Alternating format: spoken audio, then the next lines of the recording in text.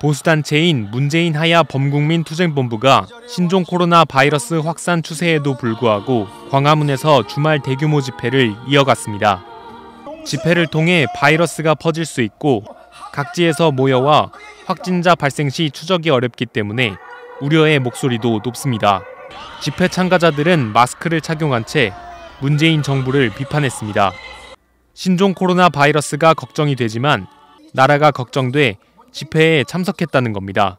이 아름다운 나라를 우리 자손들에게 물려줘야 되는데 지금 정말 너무 앞이 너무 그렇고 그래서 항상 생각하면 눈물이 나요. 손자 손녀가 많거든요.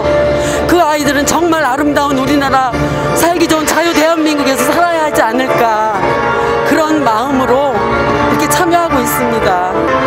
그런 것도 다 하느님의 뜻이라고 생각하고 그리고 이제 그냥 마스크 하고 이렇게 나왔으니까 안전하게 지켜주실 거 지켜주시리라 믿습니다. 그것도. 걱정은 되지만은 더 큰 거는 지금 나라가 지금 도탄에 빠지고 있어서 그거 구하는 것이 예, 우선 급선무라고 생각돼서 그 바이러스는 예, 걱정이 되지만서도 어, 여기 나오게 된 동기가 됩니다.